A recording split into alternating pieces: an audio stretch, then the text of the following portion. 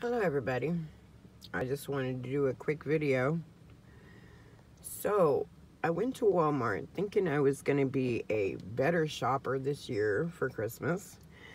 And I bought my young grandchildren a bunch of clothes because my older grandchildren won't shop there, but my young ones will.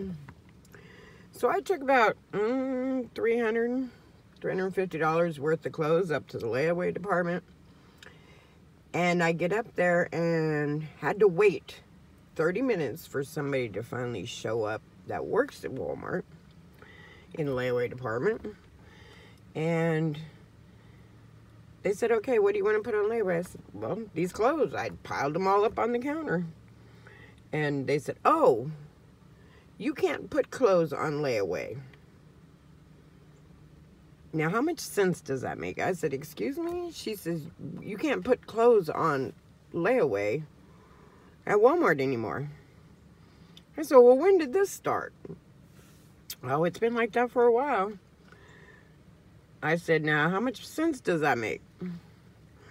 She says, none, but it's the law. I said, what? She said, it's, it's the rules. I said, well, what's the purpose? She said, ma'am, I'm not really sure. I said, okay.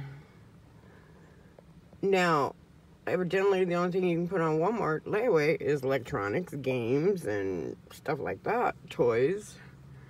But you cannot put clothes. I mean, if you sell clothes, why can't you put clothes on layaway? Anyway, if anybody has the answer to that question, I'm really curious. Why can you not put clothes on layaway at Walmart. Let me know. Curious.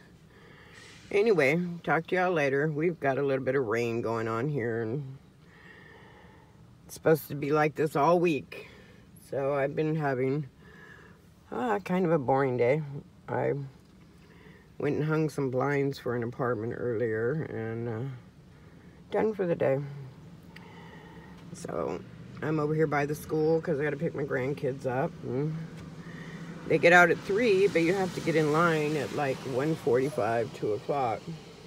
Because the line will stretch for miles. and I'm talking miles. Because nobody trusts them to put their kids on the buses here. And nobody allows their kids to walk here. So, anyway. I will talk to y'all later. Love y'all. Bye.